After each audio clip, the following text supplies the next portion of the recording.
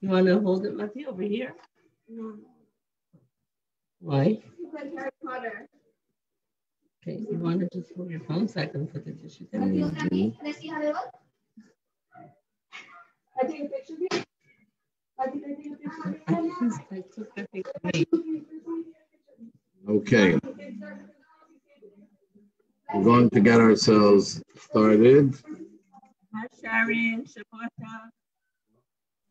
Hi, Dina. Shavua Tov. We hope uh, everyone had a beautiful Shabbos. I'm watching the beautiful snow. The beautiful snow that we had today, starting this uh, secular year. And may Hashem give us that we should have a beautiful week. Amen. First week of this uh, Amen. one. Be full of blessing and beautiful things for all of us. Amen. Nice to be back and to uh, to be together, and we'll start the Havdalah.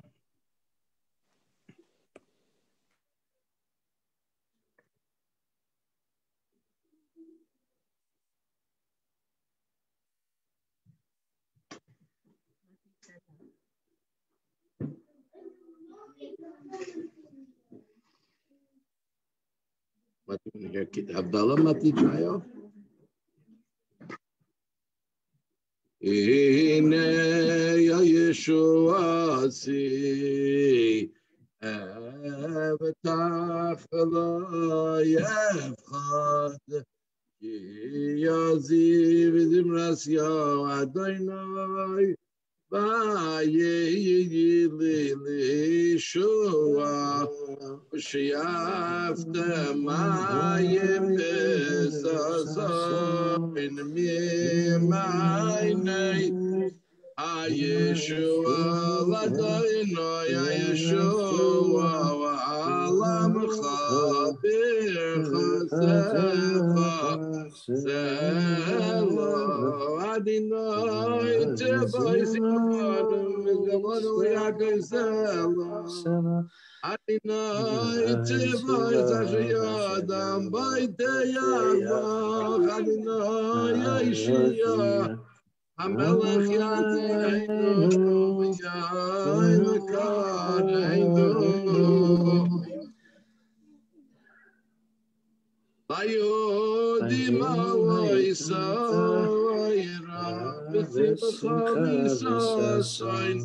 V'Yikar Keiti Alanu Yeshua Zedom Shemadina Yakra Nafarana Brachatu Adina Elena Malachim Bailei Amen.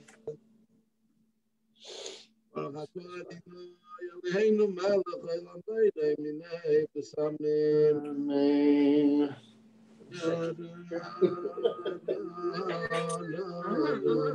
Ah.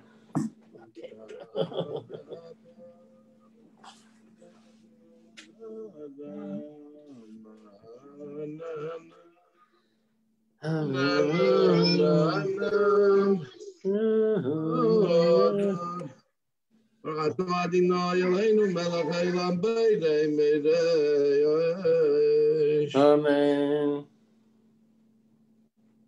ברכתו אדינוי אלינו מלך העולם המבדיל בין קידש לחיים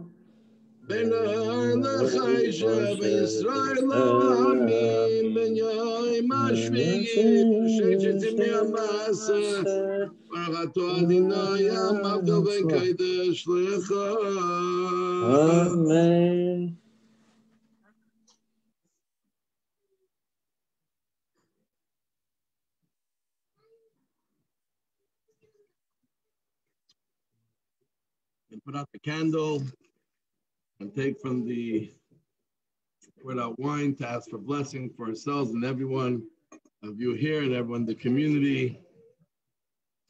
Have a blessed, successful, healthy, and happy week. Amen. Wisdom, Anasa,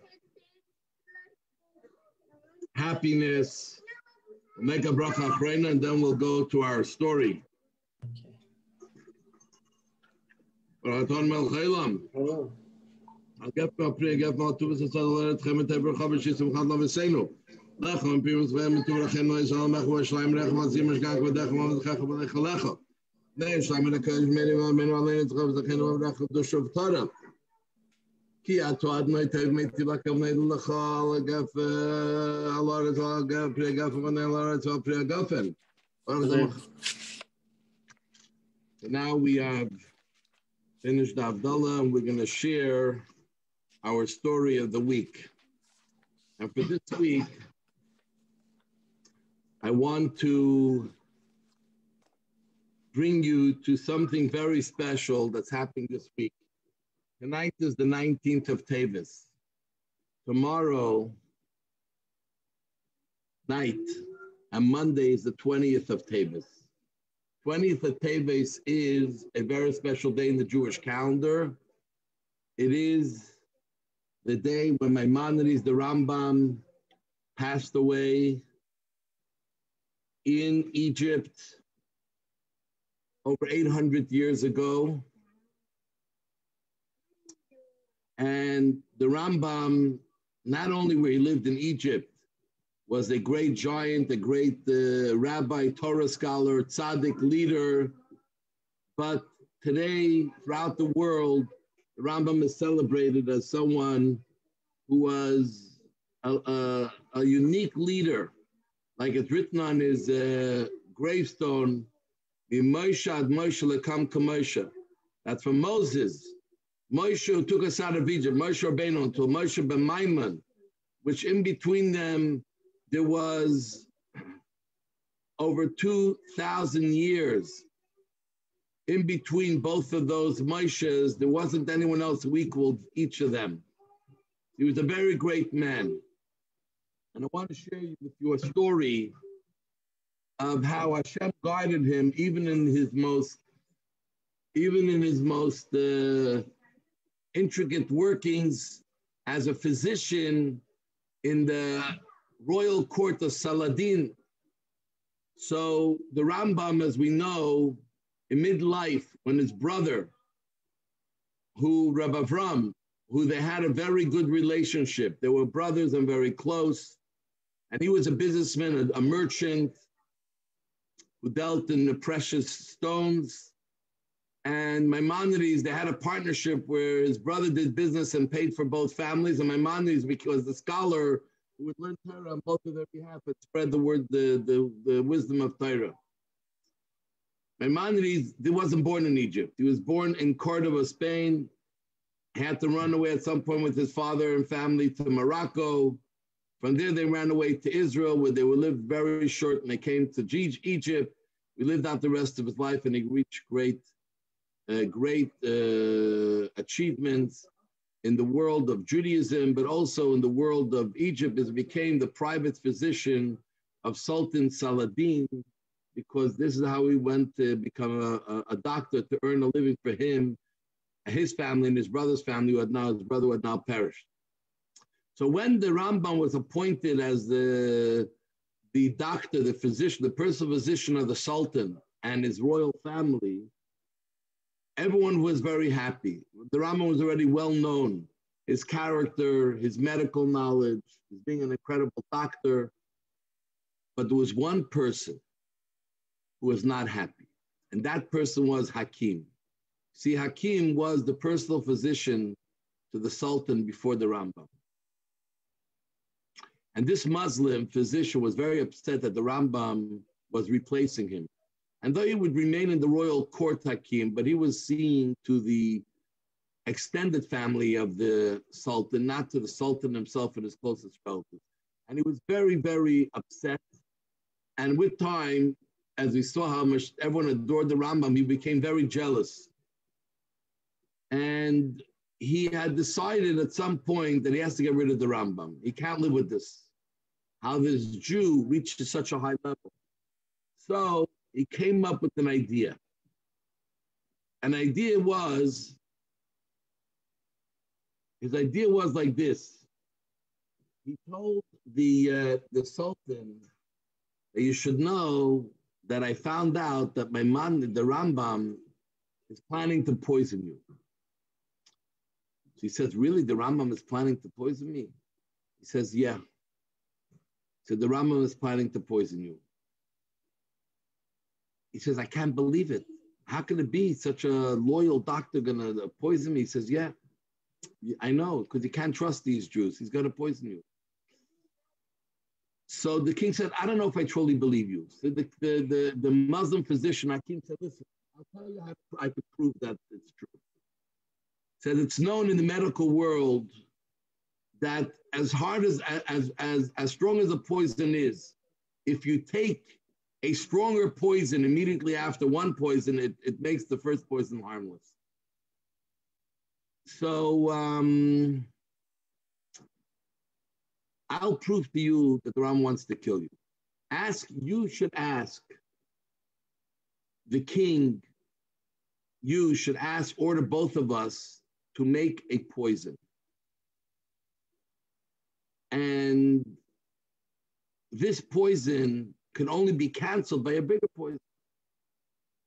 So you will you will ask the, you will ask each of us to make a poison that's the strongest poison that in case the king is ever poisoned, he'll take this poison and he will be he'll make the poison he took harmless. The king said, listen, it's a great idea, you know, but how am I going to know which one of your poison is stronger? To know which one to take in case I get poisoned. So the Hakim said, listen, tell us both to bring a poison. Then each of us will divide our poison in half. I will take the Rambam's poison and then mine, and I'll be fine. The Rambam will take mine poison and that's his, but you see, his will be weak because he wants you to die. If you get poisoned, he wants you to die, and, and, and the Rambam will die. The king says, "Wow, you know, I'm going to lose one of you for sure. That's not good." So the salt, the but but the sultan said, "At least I'll know who's my true friend or not." So the next day, the king calls in the Rambam and Hakim, and he says, "I had a dream that someone wants to poison me, so I need each of you to make for me a poison, the strongest poison." that will uh, be able to cancel every other poison. So they said, fine. The, the Hakim said, fine. The Rambam said, you sure? Because, you know, if I make a strong poison, Hakim is going to die for that poison because he told him the whole idea what he wanted to do, divide it in half. So Hakim said, I'm not worried. And the, and the Sultan said, okay, we're fine. Anyways, the Rambam goes home. The Rambam had a very busy life. When he finish attending to the royal court all days to get home, there were lines, there were lines of people waiting. There were lines of people waiting for the Rambam. There were lines of people waiting for the Rambam to come home to see him as a doctor. People asked him questions in Jewish law as a leader. The Rambam wrote about in a letter once how uh, it, it, lasted till the early hours of the morning before he could even get a chance to eat something and to study his own studies and answer response. Anyways, Ram had such a night. He got a few hours of sleep, wakes up in the morning. He starts thinking he has to make a poison. So he makes a poison. But he's thinking, what is Hakim trying to do? Hakim knows I'm a better physician. He knows I can create a better poison than he can. So what does he have up his sleeve? So the Rambam comes up with an incredible idea. He mixes some wine and sweet water. He doesn't create a poison. He mixes the wine and sweet water, and he goes to the king's palace. They come to the palace. They come to the king's palace. And the king brings them both in. Each one has the little bottle of poison. And the uh, the sultan says, okay, each of you fill up an empty uh, cup with half of your poison and give it to the other one. So Hakim takes the Rambam's poison and drinks it. And everything seems fine. Everything seems fine. And then he drinks his poison afterwards and everything is good. The Rambam drinks Hakim's poison, then drinks his poison and everything is good. So the Sultan is looking to say, so what's going on? Everyone is fine. All of a sudden, Hakim starts convulsing and crying in agony and pain, and before long he falls dead on the floor. So the king said, the Sultan says to the Ram, What happened? You both look fine. What happened? And how are you still standing? I thought you're the better physician. Your poison will be stronger. How did how did you take his poison and cancel yours? So the king says, so the Rambam tells the king, you know, I realize that Hakim is up to something. He doesn't like me, he doesn't like you either. He doesn't care about you. So this was what happened. Hakim did not make a poison. Hakim did not make a poison. What he brought here now. What he did was, at home, he made a very light poison. He came here thinking that he'll drink my poison first, which will be stronger than his, and it will cancel his poison. And then he'll drink his. What he brought was not poison. What he brought was some kind of water. Because he knew that my poison would be stronger. So he drank mine. Mine wasn't poison either. I gave him some wine and water. So the poison he took at home, which was slow killing, now killed him because nothing was there to cancel. And I knew that he wasn't going to put poison. So he drank, I drank his water, I drank my wine and water, and everything is good. So the king says, Wow, not only do I know I have a good physician, but I know I have a very great, wise person who looks after the court as well. The king was very, very thankful. So this is just one of the things that the Rambam had to deal with in his time. But I want to tell you, just finish off, tell you a story about the Rambam's death and burial. So the Rambam passed away in Egypt the age of 69. But the Rambam left in his in his sort of his will that he wants to be buried in Israel. But he didn't tell anyone where in Israel he wants to be buried. Wants to be buried in Israel. So when the word spread out that Maimonides passed away, every city in Israel sent a delegation. Say, please bury him in Jerusalem in, in, in Mount of Olives, or bury him in Hebron next to the cave of the patriarchs, or bury him in Miron next to Shema Yochai. And everyone was angling to get the Rambam to be buried there. And they didn't know what to do. So they said, let's take a donkey, go to the borders of Israel, and from there we'll figure out. Anyways, during the whole trip, the biggest fear was those days in the desert, there were a lot of robbers and bandits. They were scared that the bandits will come and they disrespect the Rambam and his uh, and his um, entourage and his uh, holy body, and they, they may take the, take all their money. And they were pounced upon by bandits.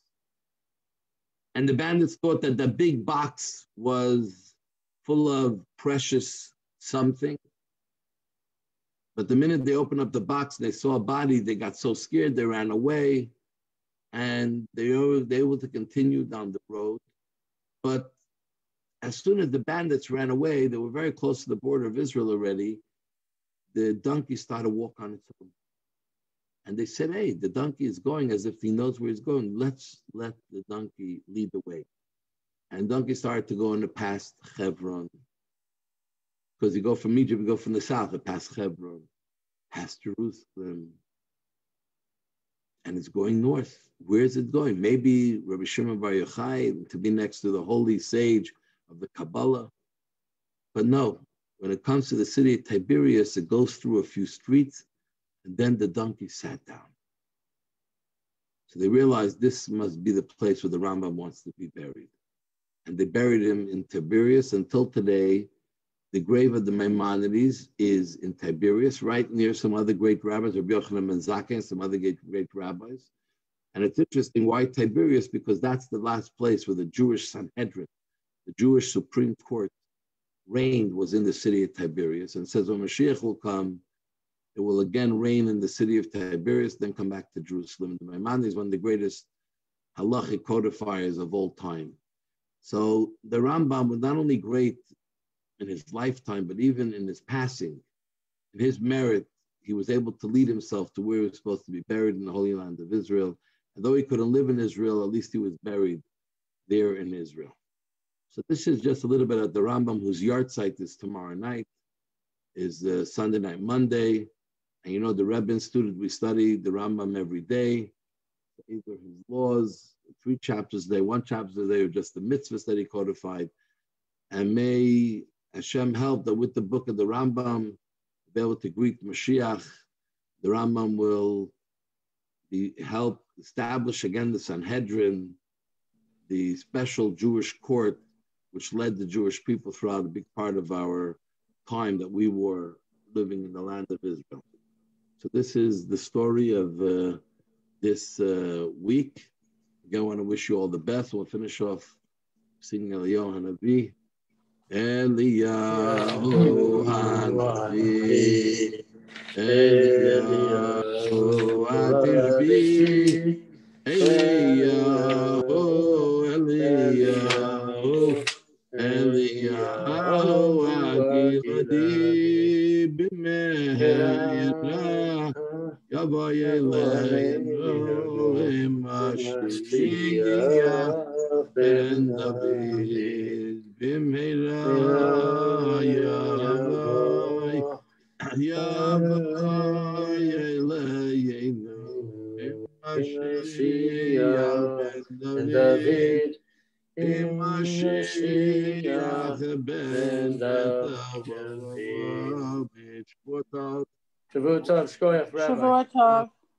Tov, everybody. Be well. Stay well.